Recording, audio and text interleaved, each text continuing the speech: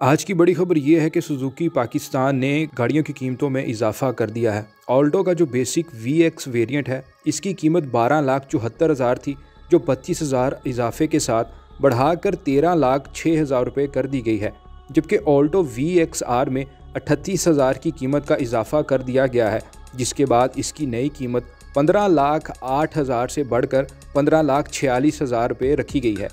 इसी तरह Alto we x L की पुरानी कीमत सत्रह लाख चार हज़ार रुपये थी, जबकि अब इसकी कीमत में तैंतालीस हज़ार रुपये का इजाफा करके इसको सत्रह लाख सैंतालीस हज़ार रुपये मुकर कर दिया गया है। याद रहे कि मिनी बजट में 660 सीसी से लेकर 1300 सीसी तक की कारों पर दो इशारिया पाँच फ़ीसद फेडरल एक्साइज ड्यूटी लगाई गई थी। कल्टस की बात करें तो जो कल्टस का वी एक्स आर वेरियंट है, इसकी पुरानी कीमत उन्नीस लाख चार हज़ार रुपये थी, जबकि इसमें एक लाख छब्बीस हज़ार का इजाफा किया गया है। और नई कीमत अब बीस लाख तीन हज़ार रुपये की गई है।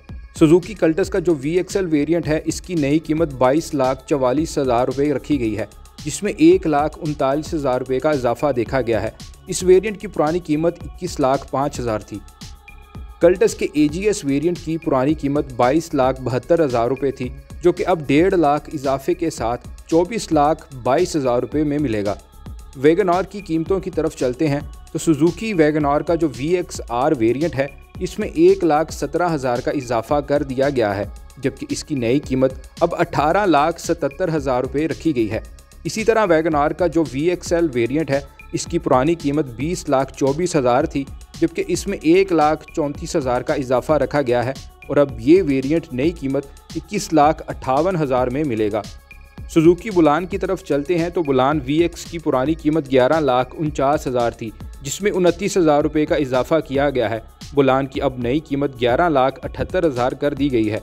वाज रहे कि कीमतों का इतलाक आज, यानी 19 जनवरी 2022 से कर दिया गया है। अगर आपको ये वीडियो इन्फॉर्मेटिव लगी तो हमारे चैनल को सब्सक्राइब करें और इसे दोस्तों के साथ ज़रूर शेयर करें और कमेंट सेक्शन में अपने फीडबैक से हमें आगाह करें। अगर आपके जहन में कोई सवाल है तो वो भी आप कमेंट सेक्शन में पूछ सकते हैं। शुक्रिया।